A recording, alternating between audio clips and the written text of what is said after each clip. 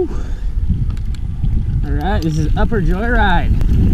Unfortunately, Lower Joyride has been closed all year. I've been waiting and waiting for them to open it so I can make this video, but I don't think they're gonna open the lower section, at least not while I'm here this year.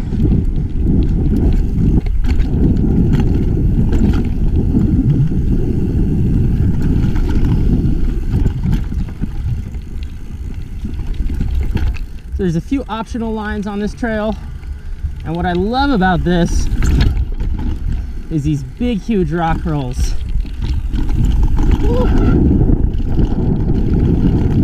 It's like one of my favorite things about riding in BC. We really do not have a lot of that where I'm from in California.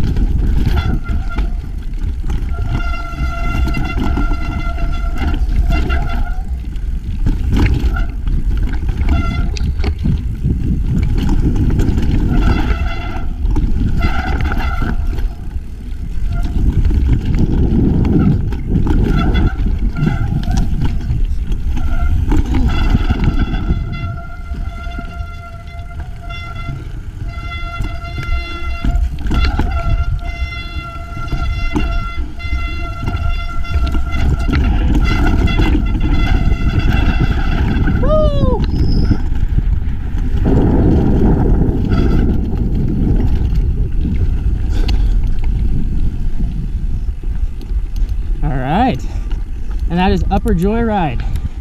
I'll go check if the lower section is open. It is not.